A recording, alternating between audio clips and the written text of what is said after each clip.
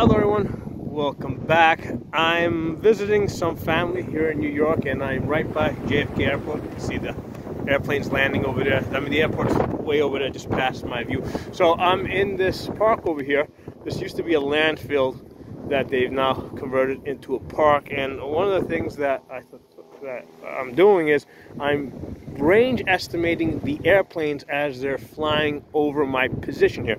So I don't have any uh, range estimating tools. What I'm doing is I'm using my finger here because a while ago I did a video um, where I was basically range estimating trees on the length of my finger and what I figured out is that at 500 yards a 75 foot tree which is my average tree line is the length of this segment here of my finger right so from tip to that knuckle there. So here we go. I got an airplane overhead here.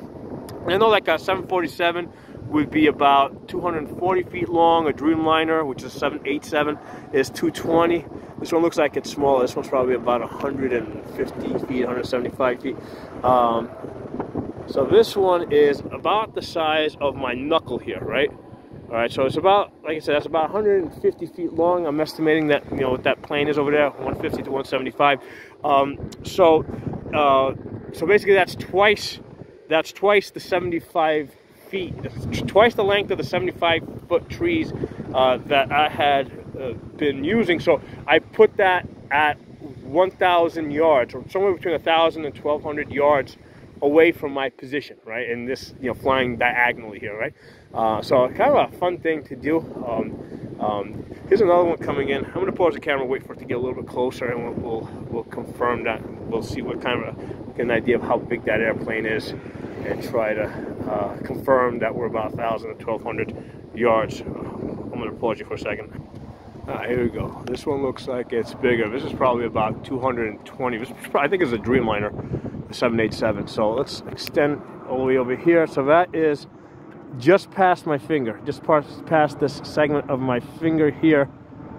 Um, so yeah, it's somewhere between, as they're flying over my position here, they're coming in somewhere between uh, a thousand and twelve hundred yards. So um, it's just interesting exercise. I just kind of thought of this on the spot.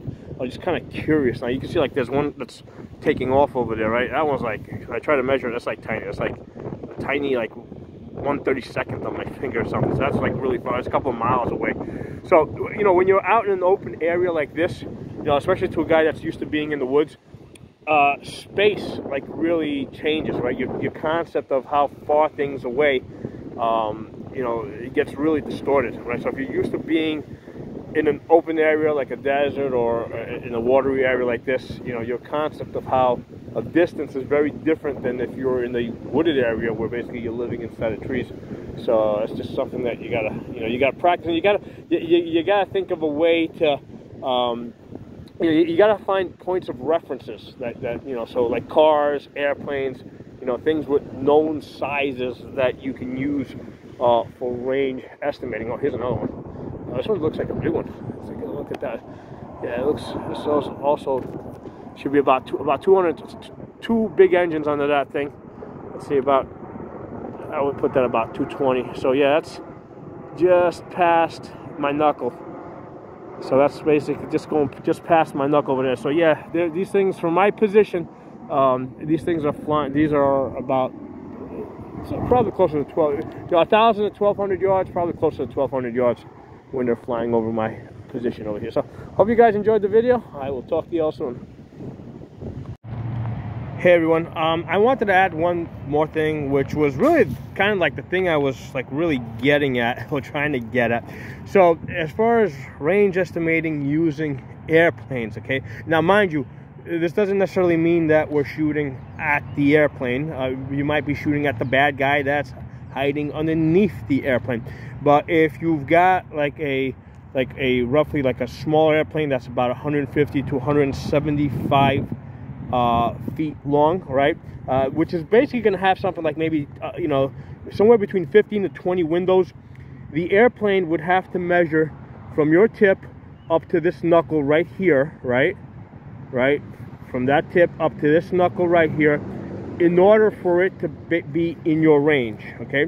Now, if it's a larger airplane, right, something like with 40 windows, like a 747 or uh, or 787, basically it's going to be the length of your entire finger from this tip all the way up to here, right?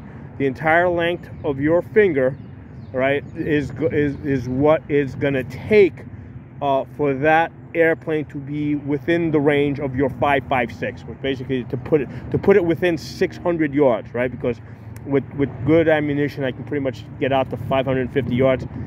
You know, mind you, yeah, sure. I mean, past uh, um, you know, past 300 yards, a lot of it might just be suppression fire. But that's what I was really trying to get at today. Um, if the airplane, because basically, if your airplane is just coming eh, from there to there, I mean, you know, it's like definitely out of your range. It's going to be something like you know, a thousand to 1,200 uh, yards away. If from there to there, okay, um, if it's a small airplane, right, that has something like like uh, up to 20 windows, which you can you can measure, right? You can count the windows, right? Um, uh, you know, uh, that's going to be at the edge of your range. And if it's a larger 747 or 787, um, it's going to basically be the entire finger, right? You're going to measure it against, and again, you're going to, you know, those are usually easy to tell. Those got like something like 40 windows. Okay, so hope you guys enjoyed this. I'll talk to you all soon.